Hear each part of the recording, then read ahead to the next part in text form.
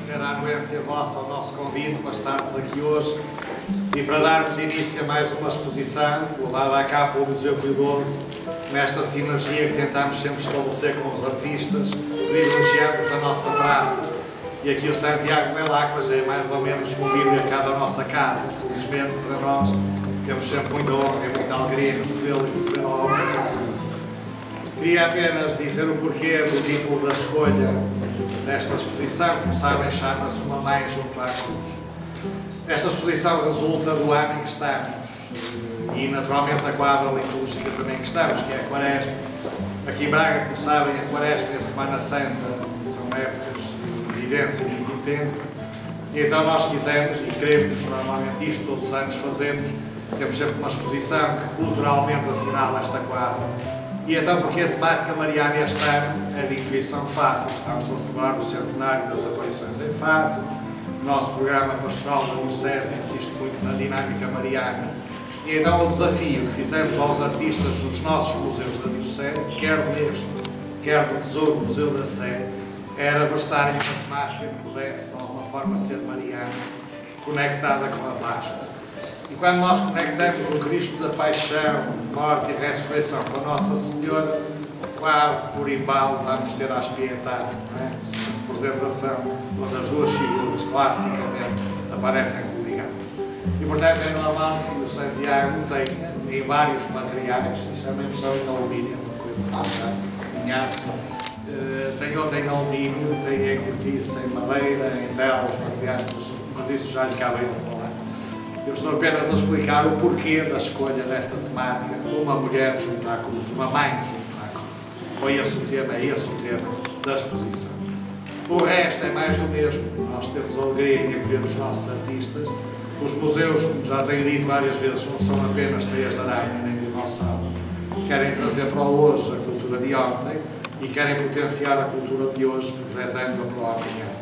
Quando nós damos vez e voz aos artistas, é isso que estamos a fazer, pegar a nossa cultura de hoje e, naturalmente, darmos voz e vez à cultura de hoje, a fazermos chegar até ao dia de amanhã. Além de agradecer a vossa anuência ao convite, resta de agradecer ao artista o esforço que ele fez para pôr esta exposição de pé. Para nós é mais fácil, porque é só pôr os quadros no sítio, mas quem tem que os conceber, quem tem que os desenhar.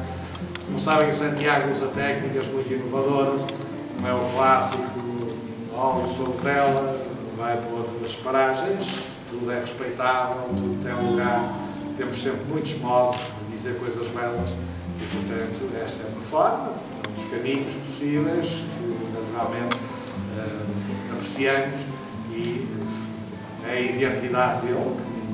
Cada, um, cada artista tem a sua identidade, tem o seu, o seu, o seu cartão de cidadão. O Santiago tem o dele bem vincado, tem já uma marca muito própria, que é extremamente aprazível, dinâmica, colorida, movimentada e em materiais inovadores. É sempre com muito gosto que o queremos e que lhe damos aqui espaço no nosso museu. Claro, aberta a sessão, ele tem uma surpresa preparada à entrada no salão onde a exposição começa, portanto agora fazemos a procissão do Senhor dos Passos, já que estamos em clima municipal, e vamos dirigindo para o salão onde está a obra assim. Boa noite, Sr. Cono, muito obrigado por mais um convite.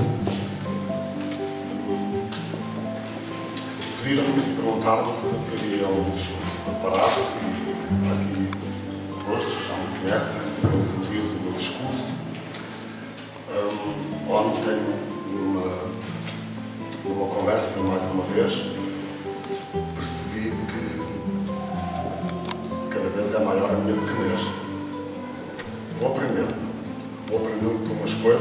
Pessoas.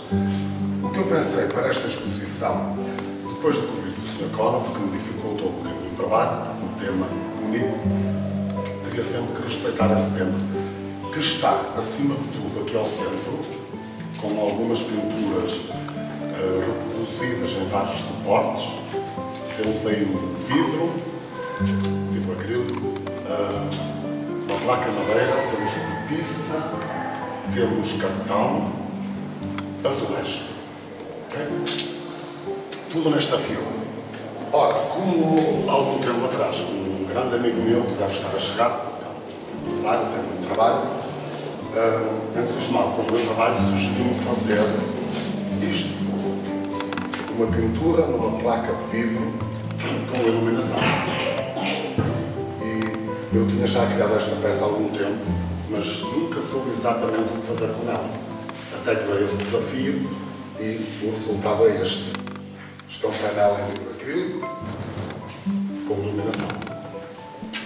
Para a vossa apreciação, e daqui para a frente faça-se luz nesta sala e vamos ver alguns suportes mais que temos aqui, para além das pinturas, óleo sobre tela, técnica mista, temos aqui um painel em alumínio, lá fora viram, lá fora, aqui no, na recepção, viram uma placa em aço inox, esta é uma reprodução da mesma pintura, as duas peças que vão ver.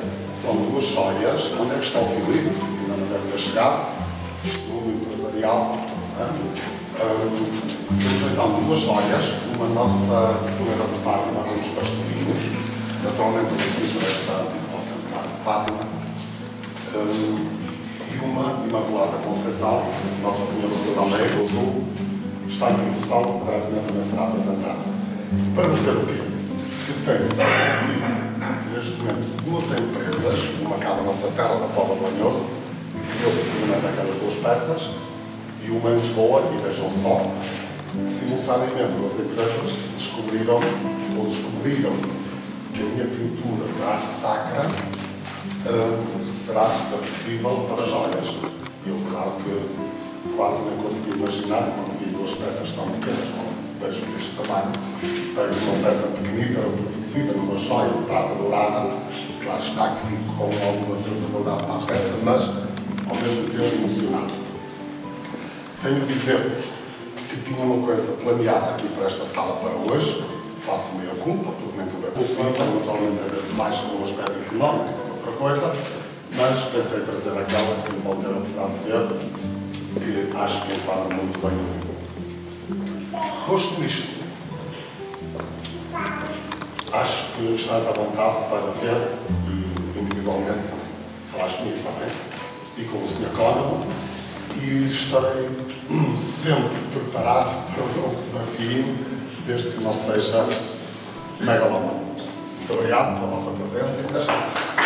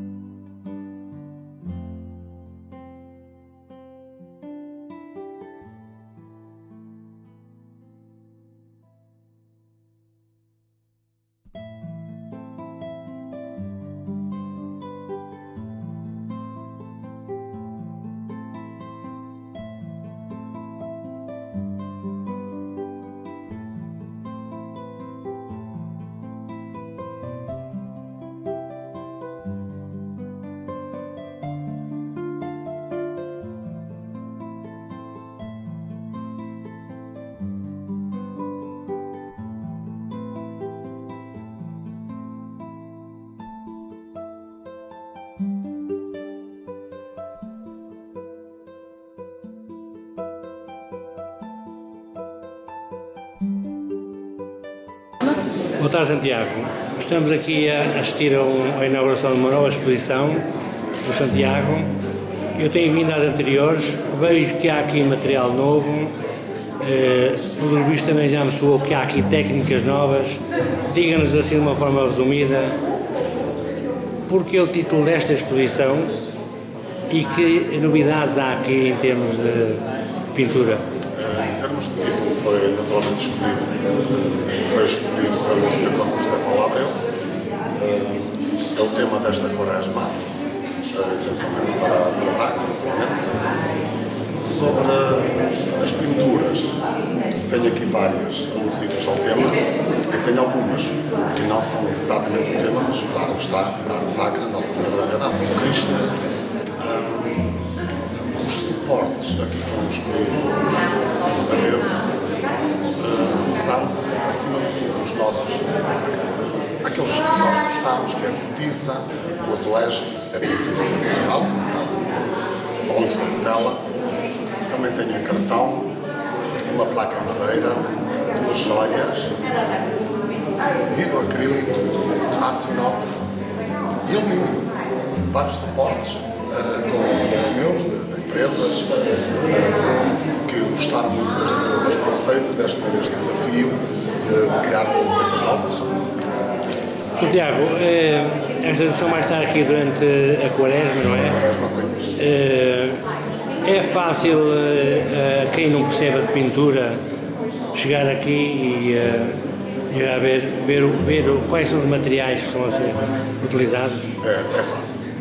É muito Para um leigo, mesmo para um leigo. Mesmo para o leigo. O leigo, vá, o leigo. Há leigos, as pessoas não gostam ou não gostam, têm alguma sensibilidade, mas sabem perfeitamente o que é pintado à mão e o que é reproduzido. Porque nota-se no vidro que não é pintado à mão naquela peça de alumínio e se não for o caso, estarei cá eu para,